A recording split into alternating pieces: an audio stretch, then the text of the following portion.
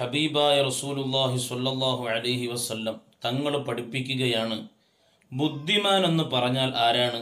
അൽ കയ്യിസു മൻ ദാന നഫ്സഹു വ അമില ലിമാ ബഅദൽ മൗത്ത്.